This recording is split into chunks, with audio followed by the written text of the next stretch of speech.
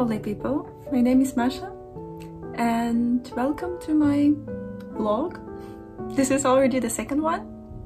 If you didn't see the first one, then you didn't see it. and if you didn't see it, then you don't know that I'm preparing my Etsy shop for opening. And in the last video, I introduced you three of my designs and showed you a big part of the creative process. But since, since Since I posted my first vlog, I've been feeling more anxious than ever before. Sharing my creations and my thoughts with the world means opening up a very vulnerable part of myself to others. While I don't expect many views, but the idea that anyone in the world can watch me bare my soul feels overwhelming. But I believe that with time, I'll become more comfortable and will find peace of mind in sharing my work. But in the meanwhile, there are some things that help me to cope with anxiety, and today I would like to share these things with you. Perhaps they will offer some solace to the other vulnerable and anxious souls who are watching me now. Here are all the creations that I've made for my shop launch. It's not much, but it's exactly what I wanted. I have no idea if any of these creations will find a new home, but it's okay. I only have a few tasks left to complete before we find out what the future holds.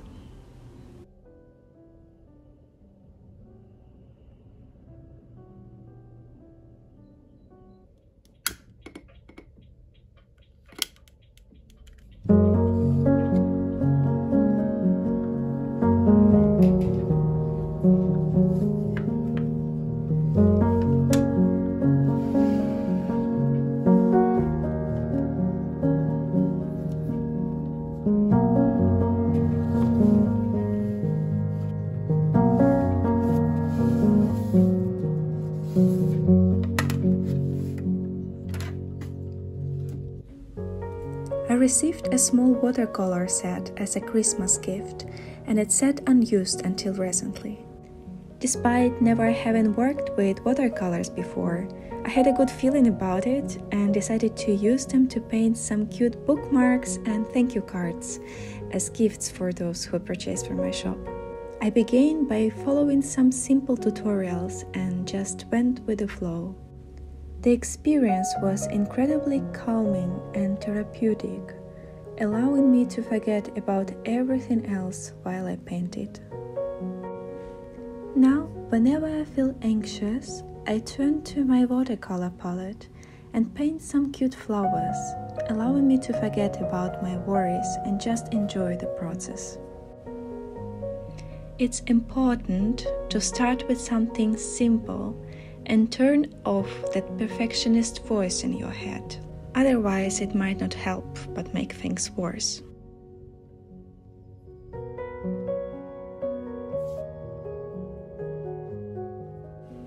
Have you ever heard about Elizabeth Gilbert? She's a well known author who talks a lot about creativity, and one of the things she frequently addresses is perfectionism. In her book, Big Magic, she writes about how perfectionism can be a creativity killer because it sets impossibly high standards that we can never truly meet. Instead of striving for perfection, Gilbert suggests that we aim for done instead.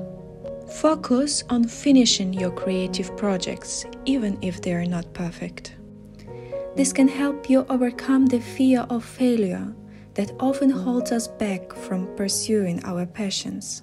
So, if you are struggling with perfectionism, remember that done is better than perfect, and then the most important thing is to keep creating.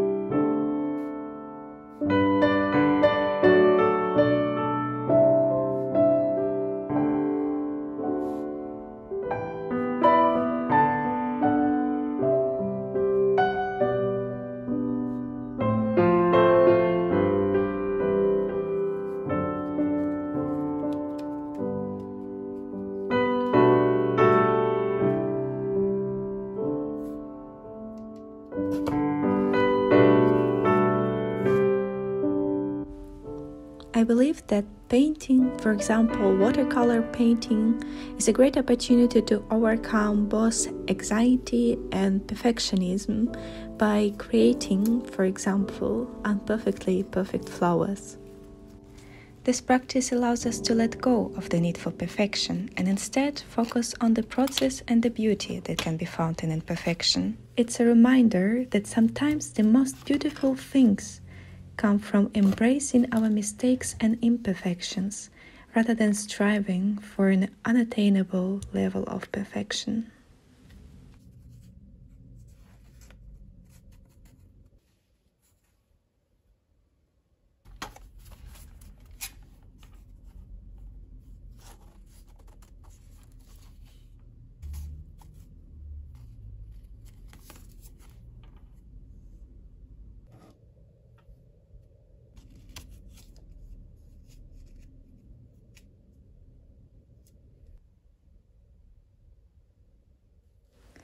Another thing that has been incredibly helpful for me in dealing with an anxiety is something quite obvious, really exercise.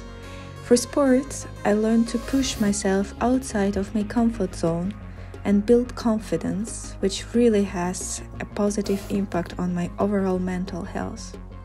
Whenever I feel overwhelmed, I would simply pack my bag, switch off all my phone notifications, and head out for a good workout.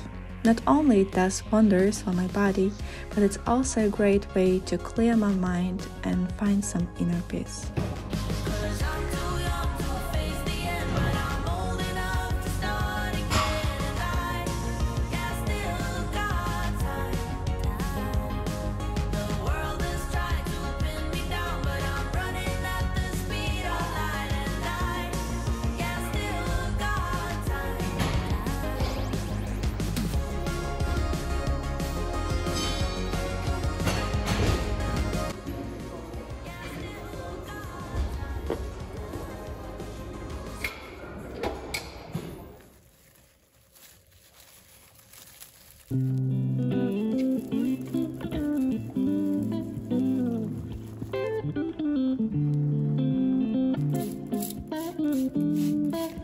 Taking care of my plants has also been a great help in reducing my anxiety. Removing the dust from the leaves or just talking to them can be so therapeutic. Do you also talk to your plants or just me being a little bit of a weirdo?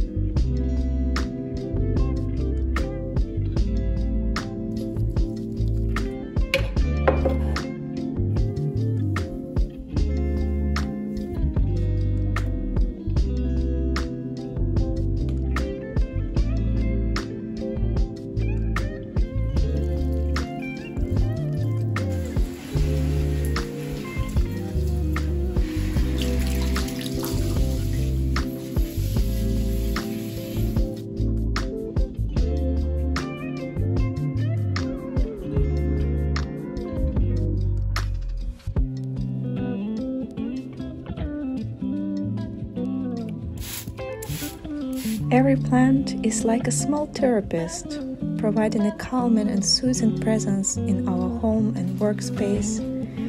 And I needed one more therapist so badly.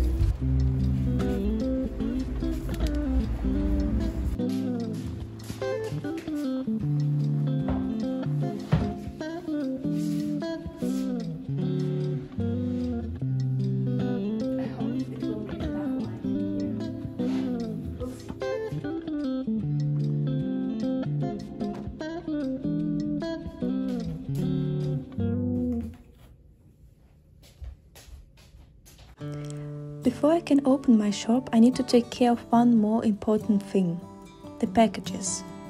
Of course, I want them to look beautiful, and I have the resources to buy new boxes and other materials for packing. But while I'm in the very beginning of my small business journey, I just didn't want to. Instead, I came up with an idea to recycle the materials I already had at home. I always keep everything that can be used again to reduce the waste. Also, the recycling takes more time and effort to make the packages look presentable, I believe it's important to prioritize sustainability and do what we can do to take care of our beautiful planet. I put love and care in each package, and while they may not look as perfect as new ones, I hope my customers can appreciate the effort and the thought that went into them. What do you think? Would you mind receiving a bit weird looking box but made of only recycled materials? But let me know your thoughts.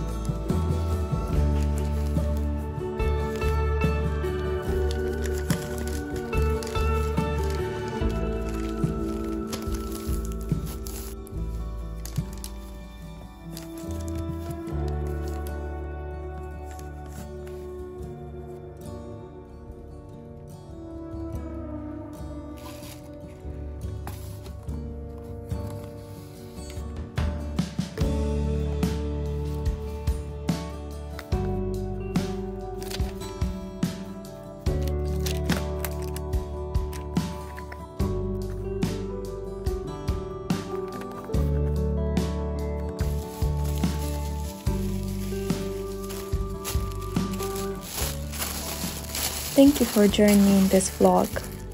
As you are watching this, my Etsy shop is now officially open and all of my unique creations are waiting for their new owners in environmentally friendly recycled boxes along with small bookmark gifts. I also open up about my struggles with anxiety in this video and while my tips may not work for everyone, I hope that my story and vulnerability can bring you some comfort and remind you that you are not alone as an anxious soul. Thank you again for your support, and I can't wait to see you in my next video. Bye!